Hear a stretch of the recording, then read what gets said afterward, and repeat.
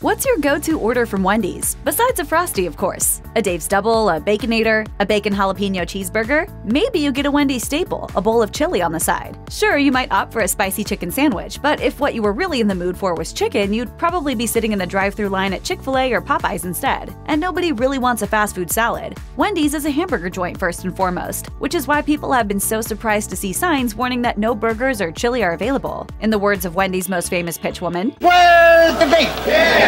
Hey, where's the beef? The answer has to do with the meat supply pipeline experiencing some serious complications due to COVID 19. Bloomberg reports that while there is still an ample supply of meat in cold storage, the fresh meat supply may be getting critically low as several major North American meat processing plants have been shut down by the pandemic. Conditions on crowded processing lines have been particularly conducive to the spread of the virus, and hundreds of meat plant workers have been infected. And there have been additional complications along the supply chain with meat producers who once supplied restaurants trying to shift more of their output to supermarkets. Just as much of the meat supply had been diverted from the restaurant industry toward grocers. The possible reopening of full service restaurants has led to supply chain confusion that is affecting the meat supply, not only at restaurants but also at retailers. Costco has even recently been forced to implement limits on the amount of meat members are allowed to purchase. The shortage is a particular hit for Wendy's, which has always made a point of only using fresh, never frozen beef. Any fast food chain that uses fresh beef is going to have short term challenges making sure it has enough and it's coming at a bad time for the chain.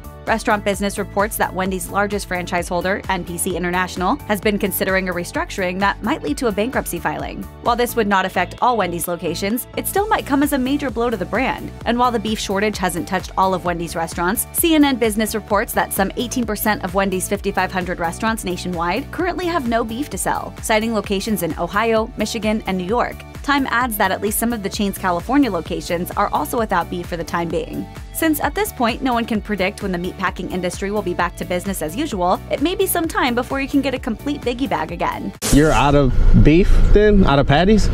So, what can you still get at Wendy's? If you wake up early enough to get to the drive thru while they're still serving breakfast, most of those items should be on the menu, since none contain beef. If you just can't live without a Baconator, you may still be able to get one. The Breakfast Baconator, made with a sausage patty instead of a beef burger. If you're having Wendy's for lunch or dinner, your choices may be more limited.